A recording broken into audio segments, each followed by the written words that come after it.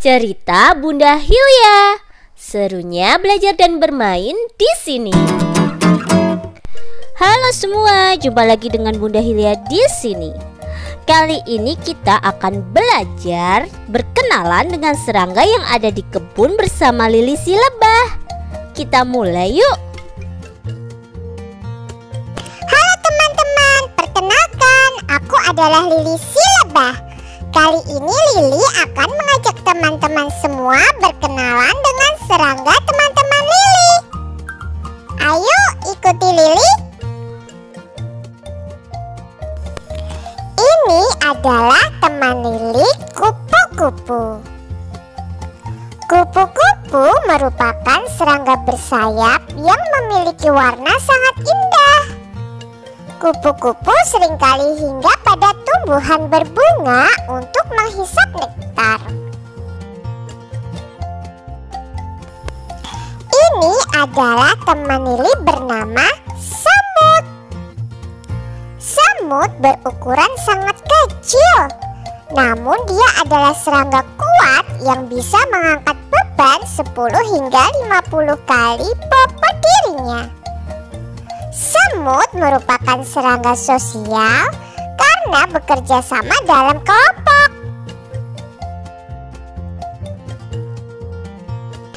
Ini teman Lili bernama Ulat. Ulat adalah serangga yang dianggap hama karena banyak merusak tanaman. Ulat suka memakan dedaunan.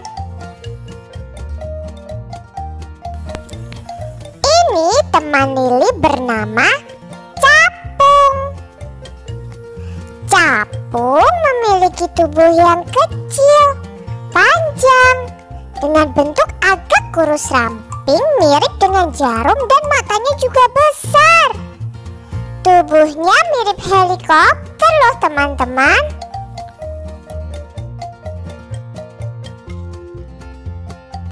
Ini adalah teman Lili yang bernama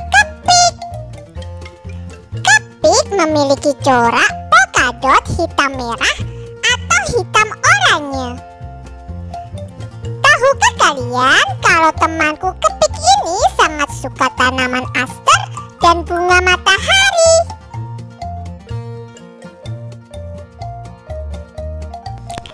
Ini adalah teman Lili bernama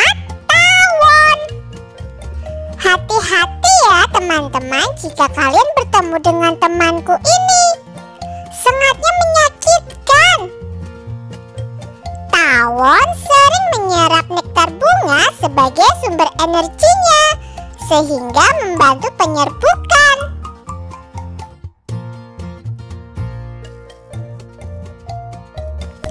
Nah, kalau yang satu ini adalah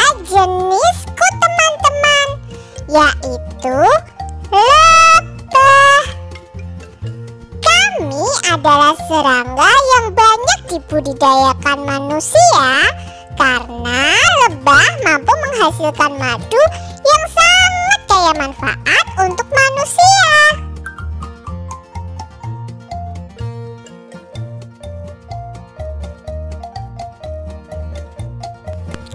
Ini adalah temanku bernama Kumbang Tanah.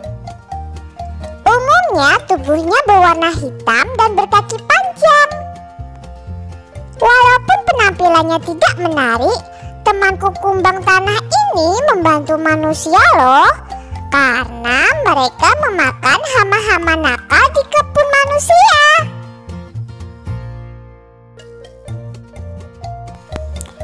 Ini adalah teman Lili yang bernama Laba-laba. Kebun kalian ada laba-laba, jangan takut ya kawan. Biasanya laba-laba di kebun tak berbahaya. Justru laba-laba di kebun membantu untuk mengamankan tanaman dari serangan hama jahat.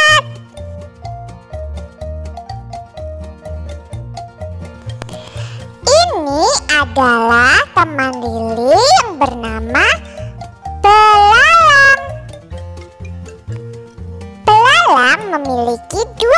pasang sayap dan memiliki kaki belakang besar yang membantu belalang untuk melompat jarak jauh dari rumput ke rumput.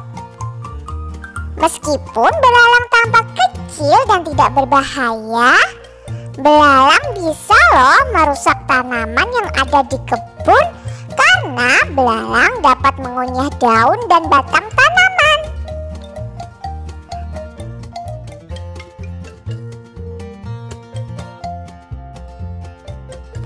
Sekian cerita Lili tentang teman-teman serangga Lili yang ada di kebunnya teman-teman.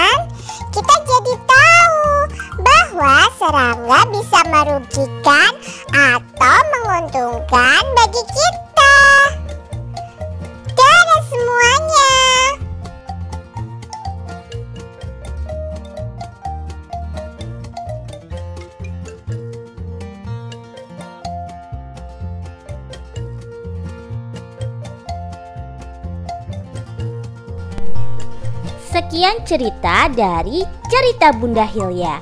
Jangan lupa untuk subscribe, like, dan share ke teman-teman. Karena masih banyak video edukasi dari cerita Bunda Hilya yang ingin Bunda bagikan. Dadah semuanya.